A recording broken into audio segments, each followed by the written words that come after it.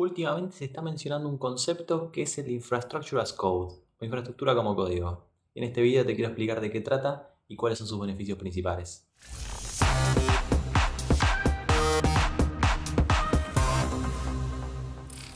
Antes de ir directo al tema, vamos a comenzar con un poco de historia.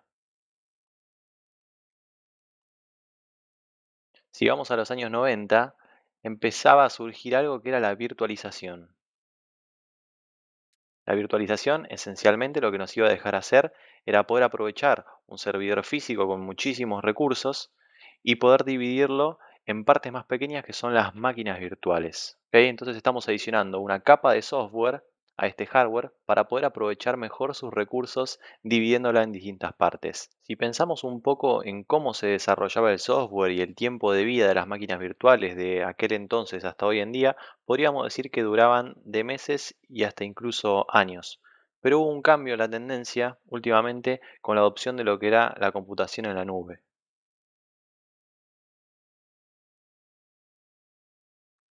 Esta tendencia de la computación en la nube está cambiando completamente la forma de trabajar. Primero, porque ya no tengo un hardware que administrar, sino que 100% software. Ahí me están dando esta infraestructura como servicio.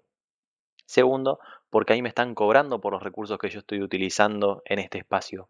Con lo cual, estos tiempos de vida de las máquinas virtuales o contenedores, que podía ser de meses a años, ahora se reducen quizá a semanas y días, porque yo los voy a tener desplegados solamente el tiempo que los necesito. Ahora, ¿cómo hago esto de manera tradicional? ¿Cómo se venía haciendo en los últimos años? La manera en la que se hacía era de manera gráfica, a través de los distintos portales o dashboards que me daban los proveedores, lo cual no era un inconveniente en los data centers pequeños en los cuales yo no manejaba una carga de trabajo muy grande. Pero ¿qué pasa cuando yo todos los días, como vimos en el esquema de la nube, o todas las semanas tenía que subir, bajar recursos o poder desplegar distintos ambientes al mismo tiempo. Ahí la cosa se vuelve un poco más complicada. Entonces entra este concepto de Infrastructure as Code.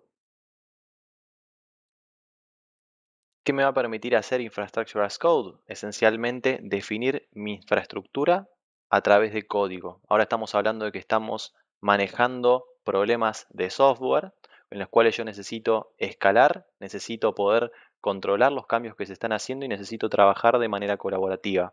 Con lo cual ahora yo voy a poder definir de manera declarativa lo que yo quiero realizar con mi infraestructura y voy a poder a partir de ahora realizarlo a través de código.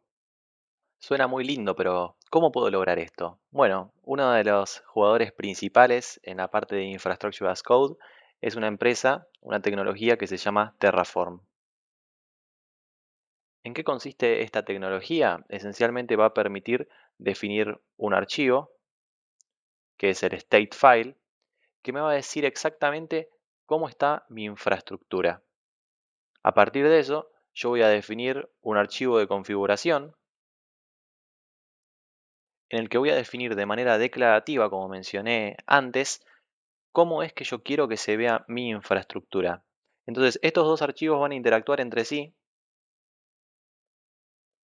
y va a poder compararse. Si hay una línea adicional en mi archivo de configuración, eso quiere decir que se tiene que crear un recurso. Si hay una línea menos, dicho de manera simple, eso quiere decir que se tiene que eliminar un recurso. Entonces, a partir de esta evaluación, Terraform me va a ayudar a poder aprovisionar la infraestructura y poder realizar cambios de manera declarativa. Y ahora escuchan esto y pueden llegar a decir, ¿para qué complicarme con esto de Terraform si yo con el dashboard puedo hacer todo muy fácil con algunos clics y me viene yendo bastante bien. ¿Para qué ahora aprender sobre el state file, el config file y empezar a hacer todo esto de manera programática? Le tengo algunos beneficios que va a responder a esa pregunta. El beneficio número uno es la capacidad de repetibilidad. Muchas veces, y sobre todo en el ambiente de la nube, ustedes pueden llegar a perder información y teniendo un archivo de código que me defina la infraestructura, yo simplemente voy a poder desplegar ese recurso nuevamente. Esto puede ser como un recovery de lo que yo tenía, o si no, simplemente porque yo necesito desplegar lo mismo varias veces. Puede ser que yo tenga un ambiente de producción, de development y uno de staging. Siempre, simplemente puedo replicar esos ambientes teniendo el mismo código que me defina esa infraestructura. El segundo beneficio tiene que ver con la auditabilidad, ¿no? Poder controlar quién hizo cada cosa, en qué momento y cuáles son las versiones previas de la infraestructura que yo tengo. De esa forma yo puedo tener un control de lo que estaba pasando anteriormente y poder volver en el tiempo atrás para saber cómo me impactó probablemente algún cambio que yo realicé. El tercero de los beneficios es el de control de cambios. A través de herramientas como GitHub, eh, yo podría, por ejemplo, pedir o solicitar cambios utilizando recursos como forking o branching. Y si estos cambios son aprobados, entonces mi infraestructura va a estar definida nuevamente todo a través de código.